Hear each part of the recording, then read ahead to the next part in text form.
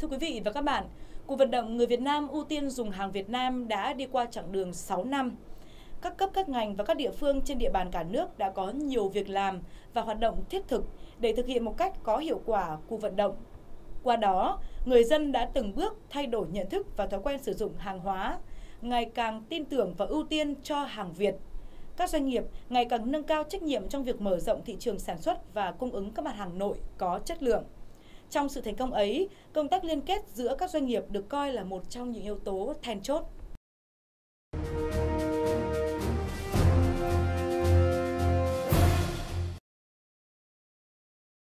Hiệp hội Nữ Doanh nhân Việt Nam dù mới được thành lập, nhưng việc liên kết giữa các thành viên trong hiệp hội được xem là một trong những nội dung hoạt động quan trọng của các cấp hội cơ sở.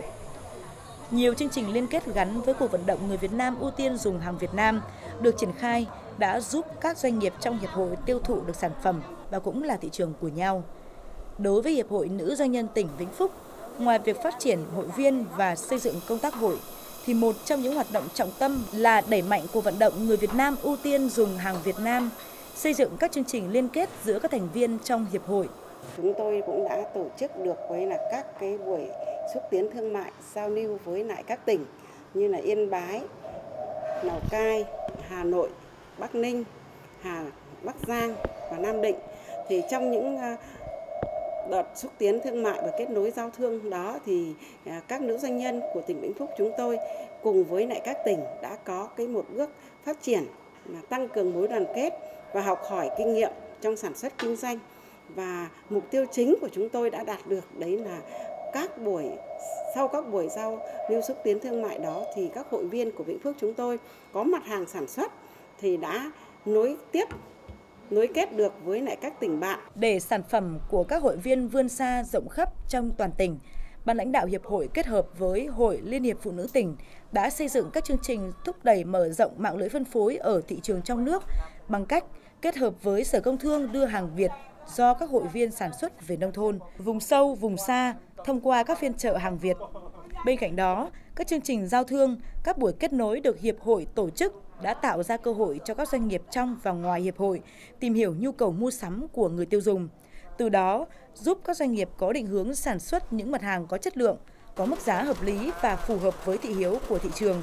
Thiết lập các đại lý tiêu thụ kênh phân phối hợp lý. Khi tham gia hội ờ, nữ doanh nhân thì chúng tôi sẽ là được chị em được giao lưu, tức là mỗi người kinh doanh một ngành nghề thì chị em có thể tiêu thụ sản phẩm của nhau và cũng giới thiệu với các à, khách hàng rồi các bạn hàng của mình chị em kinh doanh ngành nghề này lại giới thiệu cho những khách hàng của mình để à, chị em coi là nhân rộng cái cái mô hình khách hàng đầu tiên tham gia cái cái cái cái hội nữ doanh nhân gặp nhau này lần đầu tiên là đi gặp Đó thì ờ, cũng mong làm sao nếu mà kết nối được như này trong cái thời gian tới ấy, thì tôi sẽ có những cái phương hướng là tất cả các cái tỉnh thành tôi sẽ mở những cái chuỗi cửa hàng đại lý để phân phối hàng công ty sẽ là tương lai rất là tốt thì cũng phải mở một cái nhà máy ngoài này theo đánh giá của vụ thị trường trong nước Bộ Công Thương, đến nay người tiêu dùng Việt Nam ngày càng đánh giá cao hàng Việt Nam.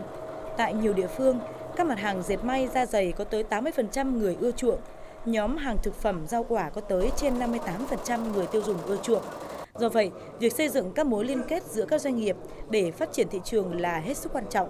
Trong vai trò của mình, các hiệp hội cũng cần thực hiện tốt việc tuyên truyền vận động các doanh nghiệp hội viên nhận thức được vai trò trách nhiệm trong việc nâng cao chất lượng, sức cạnh tranh của sản phẩm hàng hóa, dịch vụ, tuân thủ các quy định pháp luật về vệ sinh an toàn thực phẩm, nhãn mác hàng hóa, thực hiện đầy đủ các cam kết bảo vệ quyền lợi người tiêu dùng, tuyên truyền vận động các doanh nghiệp phân phối tăng tỷ lệ bán hàng Việt, phục vụ nhu cầu mua sắm của người dân, tăng cường kết nối doanh nghiệp với thị trường tiêu thụ thông qua triển khai các hoạt động xúc tiến thương mại trong nước giới để phục vụ người tiêu dùng với giá cả phù hợp và có chất lượng. Tổ chức cho các doanh nghiệp mở rộng thị trường thông qua việc giới thiệu các doanh nghiệp liên kết, trao đổi trong sản xuất, vân vân. Đây chính là những giải pháp cơ bản để phát huy hơn nữa vai trò liên kết của các hội viên trong Hiệp hội Nữ Doanh nhân Việt Nam đồng thời cũng là những hoạt động thiết thực để hưởng ứng của vận động người Việt Nam ưu tiên dùng hàng Việt Nam.